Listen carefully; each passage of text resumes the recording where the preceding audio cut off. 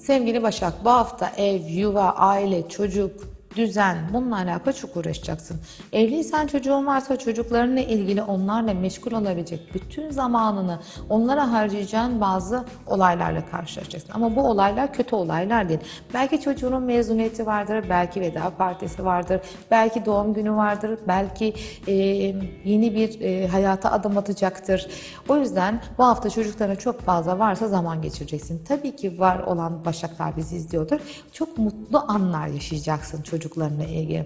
Eğer çocuğu yoksa çocuğu gibi büyüttüğü kardeşi, yeğeni olan insanlarda ya da ebeveynlerin mutlu günleri anları da olabilir. Sevgili başaklar bu hafta itibariyle ailevi örf, anene gibi e, manevi duyguların pekiştiği bir hafta olacak senin için. Sen bunlarla uğraşırken öyle huzur alacaksın ki bu aldığın huzuru kendi hayatına da yaymaya unut yaymayı unutma sakın. İş hayatına, aşk hayatına, para hayatına. Güzel aldığın enerjiler aynı olduğu, reiki de olduğu gibi aldığın gibi kendi hayatına empoze etmeni tavsiye ediyorum. Sakın bunu unutma.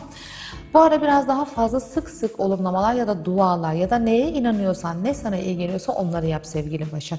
Yaptığın her şey, ettiğin her sözcük sana muhteşem bir şekilde, büyülenmiş bir şekilde geri dönecek. Bu enerji seni dimdik ayakta tutacak. Başaklar değişim zamanınız geldi. Her ne kadar Merkür geri hareketli olsa da Güneş'in enerjisiyle birlikte sen hayatında yeni tomurcuklar, yeni filizlenen olaylar öyle mutlu olacaksın ki belki etrafındaki insanlardan da kıskanılacaksın. Ama sen tüm enerjinle birlikte dışarıdan gelecek negatifleri engellersen güzel pembe yaratmış olduğun bir hayatı sürdüreceğin bir hafta içerisinde.